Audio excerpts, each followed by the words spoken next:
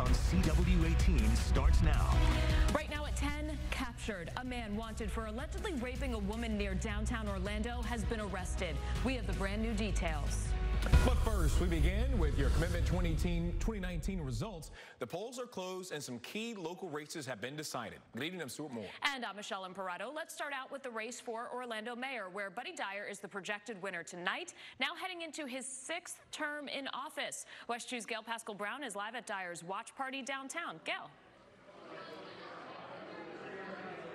Yeah, the mayor just left, and as you can see, a few of his supporters are still here.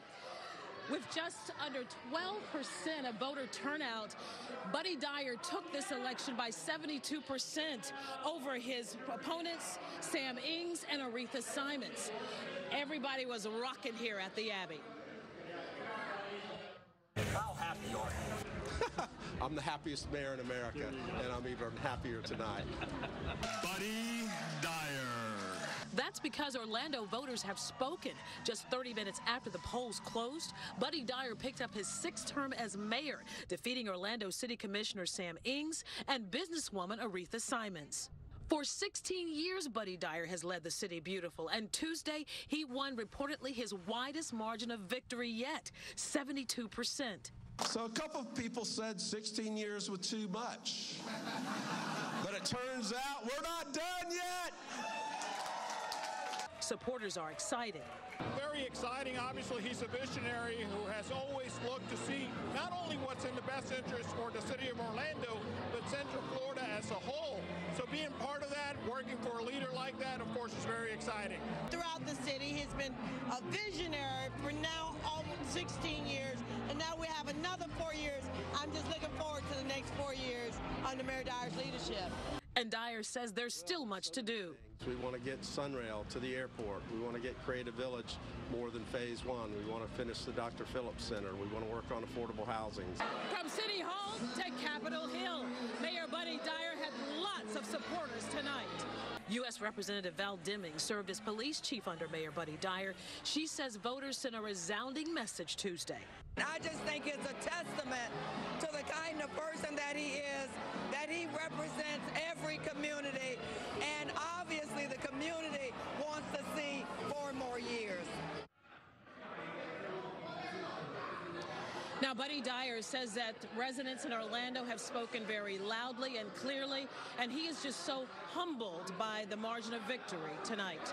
I'm Gail Paschall-Brown, reporting live from downtown Orlando for WESH 2 News. All right, Gail, thank you. And WESH 2 was at City Commissioner and Challenger Sam Ings' watch party. After tonight's results came in, he told us he has nothing but gratitude for his supporters and didn't quite close the door on another mayoral run. As I finish out my term, I have done my service to the city of Orlando. And we'll see what happens next. Maybe there's another run for mayor again of the city of Orlando. Meanwhile, the battle to fill Ings' vacant seat isn't over just yet. Neither candidate surpassed the required 50% plus one threshold to be declared the winner. Now, the leading candidate, Bakari Burns, only got 46% of the vote, leading Gary Siplin by a little more than 200 votes. But I feel good. I'm encouraged. I, uh, the support has been tremendous. Uh, so I'm ready to work for these next 30 days to bring it home. The winner will be determined in a runoff election set for December 3rd. Now, among the many local races tonight, Megan Sladek appears poised to become Oviedo's next mayor. With all precincts reporting, she has 44% of the vote over challengers Randy Corr and Emma Reichard. And another mayoral race to tell you about, this one in Mount Dora, where Cathy Hoechst ended up with 59% of the vote over the incumbent Nick Girone with just 41%. And in Tavares, voters overwhelmingly voted against a $27 million bond issue to build a performing arts center. 87% voted no. Now, we have all of today's results posted for you right now inside WESH.com. You'll also be able to see them over on the free WESH 2 News mobile app. All right, it's time now to turn to your first alert forecast. And we saw more rain again today, warm, humid. That's right. Chief Meteorologist Tony Mainolfi joins us now. Tony, those clouds going to stick around for tomorrow morning, too? You know, they are, especially along the coast. We had some thunderstorms in and around downtown Orlando. A lot of folks coming in from their dinner breaks talking about that. Those showers and storms have wound down. 75 degrees out there right now. A little trough of low pressure off to our west. A front that's kind of uh, holding up there into uh, the state of Georgia. is not going to make it in here tonight or tomorrow. And we do have some offshore thunderstorms over the Gulf Stream waters, but you can see the showers here through Osceola County. The turnpike roads there are a little bit wet. Uh, the weather has kind of calmed down here over Orange County, Marion County, on into Brevard County, northward into uh, Ormond Beach, into Volusia County and Flagler County. Also pretty quiet outside for the time being. No, notice the temperature here in Melbourne, 77 degrees, a little bit on the warm uh, side. Uh, Palm Coast at 70 and Ocala right around 73. When we take a look at Futurecast, clouds and showers will once again redevelop along the coast towards daybreak. I'll continue to track these throughout the afternoon for you hour by hour. I'll let you know where those afternoon thunderstorms are likely to set up. Guys, back to you. Tony, thank you. Happening now, investigators are out at the scene of a car into a pond. This is all happening along State Road 414 and Orange Blossom Trail. When our crew arrived, we saw first responders searching the pond, and within the past hour, that car was towed out of the water. Of course, stay with 2 News as we learn any new details. New tonight, a man has died after a weekend shooting. He's been identified as 42-year-old George Dyson. Orange County deputies say they found him shot at the Catarina Hotel on Lee Road Saturday and rushed him to the hospital. They told us he succumbed to his injuries on Sunday. It is unclear if police have a suspect.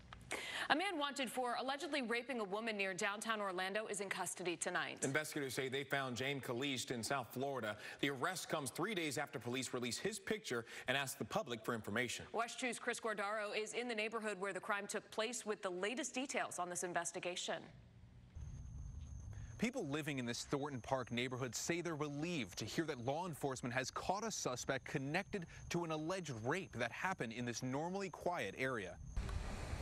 Orlando police announced Tuesday 36 year old James Calixte was arrested by U.S. Marshals in the West Palm Beach area. Calixte is accused of grabbing a woman who was in front of her home on East Jefferson Street, forcing her to the side of her house and sexually battering her. This alleged rape happened on October 26th. After the attack, WESH 2 News spoke to a woman named Cassidy Temple who lives nearby, and she told us she's changing how she walks around her neighborhood. This is what she said after hearing about Calixte's arrest on Tuesday.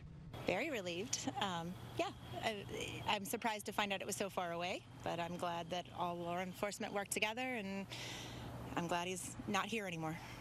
Orlando police released a picture of Calixte on Saturday. They named him a suspect in the case and said he should be considered extremely dangerous. He was reportedly put on probation just one day prior to the attack. If he was able to do this one day after being placed on probation, we suspect that he may be inclined to commit something like that or commit this type of crime again. The Orlando Police Department is expected to have a press conference Wednesday morning to give more details about Calixte's arrest. We're expecting to find out how U.S. Marshals found him then. In Orlando, Chris Guardaro, WESH 2 News. Tonight, investigators still have not found a man in Altamonte Springs last seen taking off from a stolen car and then jumping into a retention pond. This has been unfolding for the last 24 hours now. Last night, officers were called to a Wawa on 436 after getting a call about that stolen vehicle. They tell us the driver ran off into a fenced area, jumped into the water. He was last seen struggling to remain afloat. Officers say two other suspects in that car also got away. Palm Bay police say a deadly double shooting early today near Northview Street may be the result of two men shooting each other. Neighbors reported hearing several gunshots, and officers found 21-year-old Jalen DaCosta of Jacksonville and 23-year-old Jerome Harris of Palm Bay dead. Police believe the two shot it out over a drug deal. We know enough now to say that we suspect that these two victims shot at each other, and subsequently uh, both sustained uh, fatal injuries. Police say there is one more person of interest that they're looking for in Jacksonville, but there is no more local threat. A few miles away, another deadly shooting in Palm Bay, and investigators are working to figure out what happened. The man's body was found inside of a car on Agora Circle around 2.30 this morning. They say a check of security cameras in the area led them to believe that the shooting really happened a little after 1 o'clock. There was still a major police presence once the sun came up. Your kid sees a bunch of cops and crime scene vans around because they had two right here. It's not what you want to see early in the morning. Late in the afternoon, uh, this silver Hummer that you see here was found near Palm Bay Elementary. Three people inside all ran off, so the school is locked down. The Hummer belongs to the man who was shot to death on Agora Circle. All three were later taken into custody and the lockdown was lifted. They are being called persons of interest. A man is under arrest accused of groping a Disney cast member. 51-year-old Brian Sherman was arrested Saturday in Orange County. A victim claims she sat down with the man to take a picture near the grotto area of the Magic Kingdom when he groped her.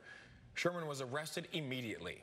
Federal investigators say Universal Orlando will not be cited for electrical problems that led to lifeguards getting shocked at the Volcano Bay Water Park. OSHA says the resort was not aware something was wrong.